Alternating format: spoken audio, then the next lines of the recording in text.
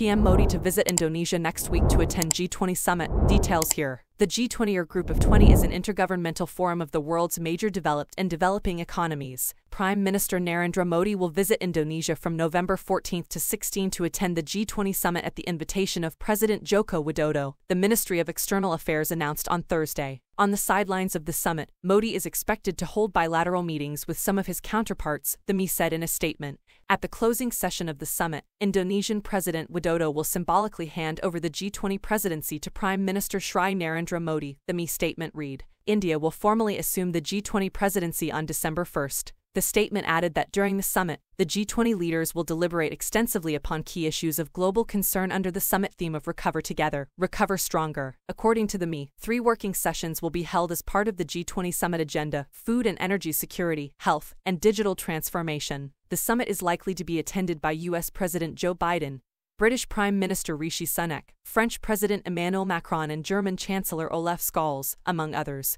The G20 or Group of 20 is an intergovernmental forum of the world's major developed and developing economies. The group comprises Argentina, Australia, Brazil, Canada, China, France, Germany, India, Indonesia, Italy, Japan, the Republic of Korea, Mexico, Russia, Saudi Arabia, South Africa, Turkey, the UK, the US, and the European Union. Meanwhile, PM Modi on Tuesday unveiled India's logo, theme, and website for its presidency of the G20. The logo, created with the four colors of India's national flag, comprises Earth sitting atop a lotus. The seven petals in the logo signify the seven seas and the coming together of seven continents at G20 India 2023, and the Earth reflects India's pro planet approach to life. It also derives the theme of G20 India 2023, Vasudhaiva Kutumbakam, One Earth, One Family, One Future.